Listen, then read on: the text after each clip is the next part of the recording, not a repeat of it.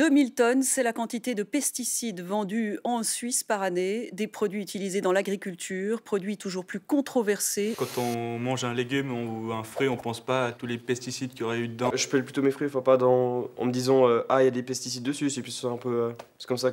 Enfin, on m'a appris à peler les fruits en les mangeant, alors je le fais quand même. Moi, je pèle pas du tout les fruits. Enfin, je mange même les cônes du fromage, donc. On a un peu perdu ce cette relation à la nourriture dans le sens où on achète des choses, on sait plus d'où elles viennent ben, Moi, je vais euh, à la ferme ben, prendre ben, tous les légumes et tout ça. Pesticides, c'est assez péjoratif comme terme. Il y a le cid de tuer. Les taux autorisés sont largement euh, dépassés. Ils savent que c'est mauvais, mais ils savent pas ce que ça fait. Enfin, moi, ça me fait un peu peur. Quand on commencera à avoir euh, trois bras ou un petit souci, peut-être qu'on se demandera qu'il faut faire quelque chose. Les gens, ils ont un peu l'impression que c'est pas qui peuvent pas faire grand-chose face à ça. Plus les gens achèteront des pommes sans pesticides, plus la tendance sera globale et aura un poids.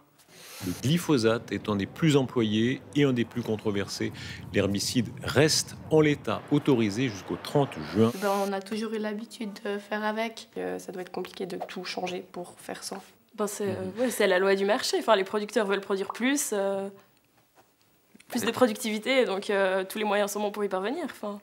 Ouais, finalement, c'est pas vraiment eux qui décident d'utiliser ces produits, c'est qu'ils sont obligés pour euh, vivre de ça. Une firme va mettre une grande pression sur des petits paysans et vu qu'ils n'ont pas déjà une marge qui est grande, ils peuvent pas se dire ah on va enlever les, insecticides au risque d'avoir une mauvaise récolte. On a des, belles pommes sans maladie, garantie, en fait 100% de la production est garantie à la vente. Je pense que c'est la pression des lobbies. Toutes ces entreprises qui, qui favorisent les pesticides et tout ça, pour les États, c'est sûr que euh, ça leur apporte de l'argent ils vont pas interdire ça de sitôt. Je pense que c'est bien s'il y a des décisions gouvernementales qui peuvent être prises à ce sujet. Peu importe si euh, c'est mauvais pour nous, euh, tant qu'ils ont de l'argent.